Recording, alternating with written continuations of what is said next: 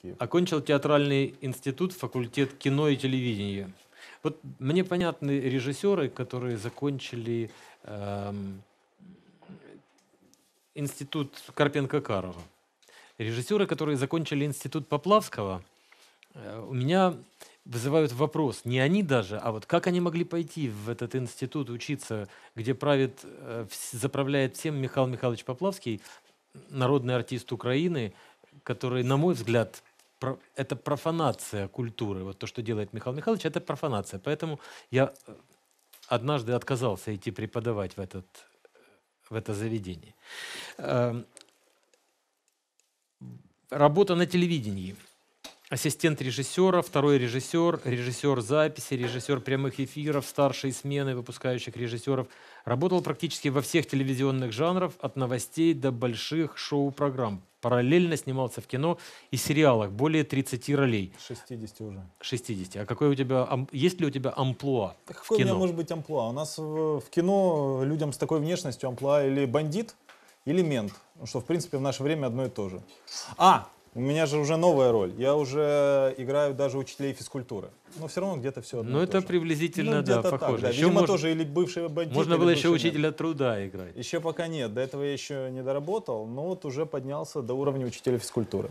А, раб- а скажи, ну да, и ты уже практически ответил на мой вопрос. Я хотел спросить, а о чем же, интересно, те сериалы, в которых ты принимаешь участие? Ты уже на Все них о том ответил. же, да. Вот О чем снимают, о том и сериалы, о бандитах. А, Писал сценарии и концепции телевизионных программ. Более года был ведущим рубрики в рамках передачи э, «Ранокс Интером». У тебя телевизор есть дома? Да, у меня три телевизора, из них один не работает. Ну, а ты смотришь их. Конечно. Самая любимая передача это с детьми посмотреть смешариков перед сном. Вот это, вот это самый лучший мультик. Ну, У меня мальчику 32 года, поэтому я с ним уже не смотрю. У меня мальчику 4, это как раз наш мультик. Да, а вот я как раз хотел спросить у тебя о состоянии дел в телевидении, которое ты делаешь. Э, Как тебе оно устраивает, не устраивает? И какие проекты в телевидении Украины ты вообще можешь назвать высококачественными, высокохудожественными? Но дело в том, что на телевидении я не работаю уже, получается, около двух лет, и, честно говоря, мне не очень тянет туда возвращаться. Вот не хочется. Это ты о состоянии телевидения отвечаешь? Фактически, да, я ответил, потому что то, что там сейчас происходит, меня ну, не устраивает. Мне кажется, кстати, об этом фильм «Реалити» мой, который я буду показывать 12 числа. Он еще... Это будет премьера или вы уже показывали? Нет, он уже, слава богу, премьера была, уже он на фестивалях поучаствовал, там в Болгарии диплом получил, там в Мариуполе выиграл, то есть это уже как бы фильм с историей. Но это фильм, который я снял именно вот под наплывом всех тех чувств, которые у меня вызывает современное телевидение, когда э, технически проекты делаются хорошо, технически, да, но в них нету никакой души не заложено. Это проекты, которые должны вызывать элементарные эмоции у людей, И в итоге это все ведет к отуплению зрителя. Мне это не нравится, и участвовать в этом, честно говоря, не сильно хочется. Ну, а есть ли э, хоть какие-то проекты в, те- в, украи- в украинском телевидении, которые ты считаешь качественными, ну, такими, что их не стыдно Ну, доп- например, из последних, который мне очень понравился, это на ICTV вышел комедийный сериал с Кечком э, «Путевая страна», который делает команда «Дизель» э, Николаев, КВНщики. Я в нем, правда, еще поснимался чуть-чуть, то есть еще изнутри посмотрел. Но, объективно говоря, мне очень понравился юмор ребят, потому что меня, честно говоря, э, Comedy Club и все, что с ним связано, меня раздражает из-за своей пошлости. То есть они очень много вытягивают мерзкого. То есть юмор, который строится на э, гомосексуализме, там, на матерных словах, но меня он раздражает. В этой передаче э, ребята сделали, ну, очень классно, очень профессионально сделано. Это действительно смешно, и образы, которые они примеряют каждой серии по несколько друг на друга, ну, они различные, и видно, что ребята очень сильные в актерском смысле. И в плане сценария там тоже очень классные сюжеты. Я, кстати, недавно э, сходил на стендап комеди, э, который делает Андрей Шабанов из э, э, с- Просто радио одесского, вернее киевского, он одессит. И я э, два раза я сходил, это именно сходил на Comedy Club Украина. Это все просто невыносимо. А вот этот шабановский стендап, в нем я услышал двух комиков. Один из города Вишневое, города спутника киевского, и второй из Белоруссии. во-первых, ни одного матерного слова, нет намеков на пошлость, и так все смешно. Э, смеялись по-настоящему. Ну, конечно, там были еще четыре или пять юмористов, кроме этих двоих. У тебя... Я посмотрел тизеры к фильмам «Странное чувство» и «Игра». Ну, вот фи... странному чувству это промо-ролик, я бы сказал, а к игре, да, это тизер. А, фильм «Странное чувство», на который ты собираешь деньги, ты предлагаешь людям, заинтересованным в появлении э, фильма с вот таким сюжетом, э, заплатить на какой-то счет и, собрав, деньги, снять Уже кино. не сработало. Не сработало, не Нет, получается. собирали два месяца, к сожалению, там принцип такой, что если собирается заявленная сумма, то эти деньги переводятся на счет, э, если нет, на твой счет. А если да, они возвращаются людям. Ну, что, в принципе, меня и заинтересовало, потому что, как бы, ну, угу. это по-честному. К сожалению, сумма собрана не была, поэтому все средства вернулись людям, и мы опять ищем людей, которые бы могли бы инвестировать в этот проект, потому что фильм будет действительно классный. Он будет и э, интересный для зрителя, поскольку это триллер, и интересный для фестивалей, поскольку там все на психологии замешано, при этом концовка абсолютно неожиданная. То есть там, если ты видел промо-ролик, как бы обрывается на самом интересном месте, а заканчивается оно, ну, абсолютно не так, как ожидаешь. И в этом кайф. Ну, там да все-таки вот вопрос от нашей редакторской группы. Какие модели поиска денег на фильм ты считаешь наиболее эффективным? Э, ждать от государства, собирать деньги или искать спонсора? Ну, это интересная тема. Э, от государства на самом деле деньги ждать можно. И слава богу, сейчас государство деньги дает, и люди получают и снимают. Я это как бы вижу сам, поскольку участвую в этих всех питчингах, питчингах государственных. Но, к сожалению, мне на этот счет не везет. Четыре раза я подавался уже, четыре раза пролетал. Поэтому, э, видимо, это не мой путь. Но другие получают, слава богу, и снимают, и я за них очень рад. Это вот реальный вариант, возможный.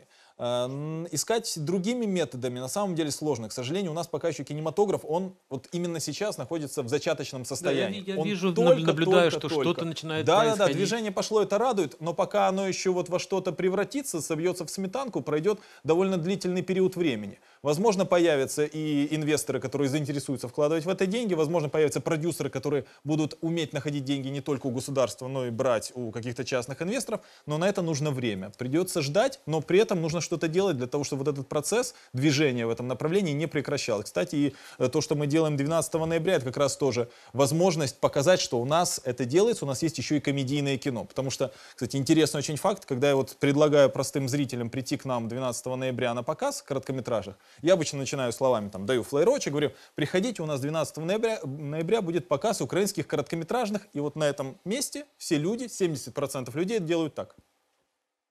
Когда я заканчиваю фразу комедийных фильмов, все делают так. И вопрос, который они задают, а что такое есть?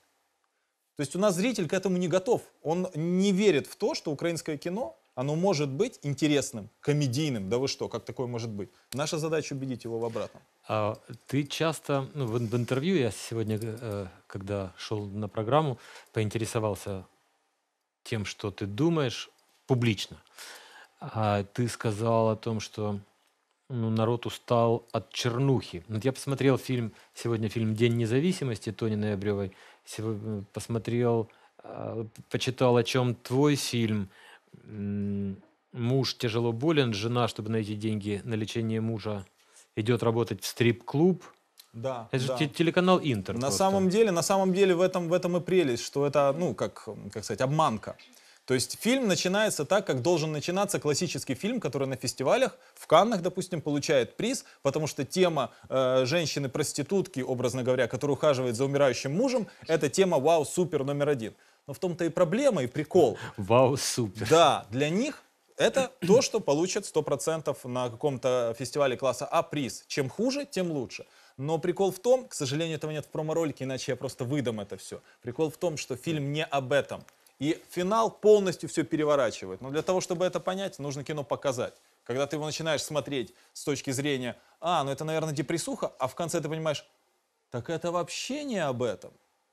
А вот э, фильм Тони Ноябрева, я посмотрел его, ну, э, прочитал комменты, люди смеются. Но смеются? Я смотрю, да, это вроде очень похоже на... Но это такая же чернуха. Нет, я бы не сказал. Это, будни- мне кажется, такое ироничное, с- самое ироничное кино. Будни киевской молодежи, такое в День независимости. Ну, Я не говорю, что это плохо. Но я говорю, что это, в этом тоже особого позитива не найти. Толь, ну будем говорить честно, э, у нас как бы комедийный жанр, к сожалению, он фактически мертвый. Мы его как-то пытаемся расшевелить, но все равно, хотим мы того или нет, нам приходится, вот э, это не просто комедия ради смеха, это комедии, которые должны побуждать еще какие-то чувства. То есть просто снять фильм э, в американском стиле, да, когда там кто-то пукнул и посмеялся, как там, допустим, делает те же комедии. Да-да. Мне лично не интересно. Мне интересно, когда человек посмеется, а потом подумает, а над чем же я смеюсь? Над чем смеетесь, господа? Над собой смеетесь. У Тони это кино, над которым я смеялся. Мне было смешно. Но это кино, которое заставляет задуматься, елки, а над чем же Да, я смеюсь? Из Пирогова мы не вернемся. Из Пирогова мы точно не вернемся. Не, не вариант. Из Пирогова мы не вернемся. Отлично парень сыграл. То же самое можно сказать и о моем реалити. Кино, которое смешно, да, смешно до какого-то момента, а концовка бьет по мозгам, и я это вижу по реакции зала, я это слышу. Когда зал на финальной фразе «Ох!» выдыхает. А тем не менее есть как бы фильмы другие, да, допустим, тот же «Жовта квитка» для месье Бурьона, которые вот не поднимают этих чернушных проблем, они, но они действительно смешные. Но зато там эти «Жигули» и милиционер, который в этих «Жигулях». Ну это... отлично. Ну и что? А, а- а в чем ты хочешь, чтобы ездил э, посмотреть, Да нет, как это правильно. в сериале Жизненная- в каком-то криминальном, где милиционер ездит в Лексусе? Согласен, это жизненная, это правда жизни. Но это же тоже чернуха. Да, это не чернуха. Но если с такой позиции подходить, то в принципе все чернуха. Ну Поймал и старик золотую рыбку. Чернуха, у него же невод грязный. Не. У Ну него как? невод чистый. Закинул в море, да, он вытащил э, золотую рыбку и говорит ей, э, а что, рыбка, какие желания ты выполняешь? Она говорит, да любые, три. И выполняет желание, заканчивается все плохо. Да, и там тоже чернуха. В принципе, все построено на чернухе, от этого никуда не уйдешь. Мгм. Ну ничего, Толь, мы это решим. Дай нам только развернуться, дай начать, дай показать, что есть такое, а постепенно, Ну, я- постепенно, постепенно. Я точно рекомендую вам пойти и посмотреть все эти фильмы, потому что каждый из них достоин, достоин внимания, и это действительно смешно. То, что я сегодня смотрел, ну там у меня есть какие-то какие вопросы к сленгу, он не до конца точен, не до конца. Ну, я сейчас, от- это нужно разговаривать с Тоней. Мгм. Об к сожалению, она приболела сегодня, очень хотела, но... А ей Ну, бы тем на не менее- завтра вычухаться. Да, и тем не менее, посмотрите обязательно. Э, В интернете, кажется, он есть. Ну, сейчас мы его попросили Убрать. пока что на время заблокировать, чтобы не портить зрителям аппетит. А как только пройдет показ, да, он опять появится. И можно посмотреть и Тонин, и мой. Вот с другими, правда, ну, Юры Ковалева «Пирог», по-моему, нету в открытом доступе, и «Желтой квитки» тоже пока что нету. Да и хорошо, что нету. Все-таки люди, ну, одно и хорошо, и плохо.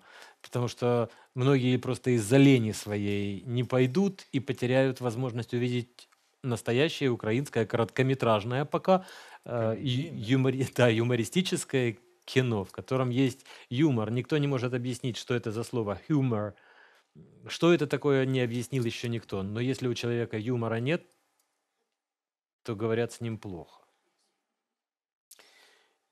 Я на- напомню, что у меня программа новостей. И, возможно, у тебя, кроме того, что вы показываете Ну, кроме фильмы, нашего е- показа, да, но у меня такая глобальная новость. Я, конечно, бумажку не писал, не, не, не выбирал. У меня новость такая общекинематографически украинская, которая касается нашего, нашей осени украинской, кинематографической, которая на самом деле меня очень радует. Э, Ты наверняка знаешь, и, может быть, зрители знают, что у нас э, этой осенью в прокат вышло сразу четыре полнометражных украинских фильма. Это «Иван Сила», «Ломбард», эм, «Вечное возвращение», Параджанов. И фильмы все очень достойные. Я просто, я, я просто в восторге. Прости, что перебиваю. А почему, собственно, нет? Почему должно быть так, что украинское кино хуже российского? Чем украинец глупее русского? Нет, и американцы не глупее, никого не глупее. Просто не занимались этим. Ну, а занимались этим те занялись. люди, ремесленники какие-то, ну, когда придет интеллект в кино, кино украинское не будет отличаться от американского, английского, французского, итальянского. Ну, молодцы. Ну еще вот буквально через два дня будет премьера фильма «Тени незабытых предков» Любомира Левицкого. Посмотрим, очень жду, очень надеюсь и верю в него. Поэтому это очень радует. Пять полнометражных фильмов за осень, ну и плюс, конечно же, наш проект с короткометражками. Это, по-моему, победа. Э, Я видел, вот то, что я видел из твоего творчества, говорит о том, что ты можешь. Я тебе желаю найти э, помощников, потому что в творчестве нужны помощники. Без этого никак. Одному, одному не сдюжить. Тогда спасибо. Спасибо. Был рад знакомству. Взаимно. Если больше ничего не хочешь сказать, тогда А передать папе, маме привет? Ну, можешь, можешь, конечно. Ну, тогда что- передаю маме привет. Папе, к сожалению, не могу. Хотя, папа, если ты там, видишь меня, привет тебе. Я тебя помню и люблю. Все. Спасибо.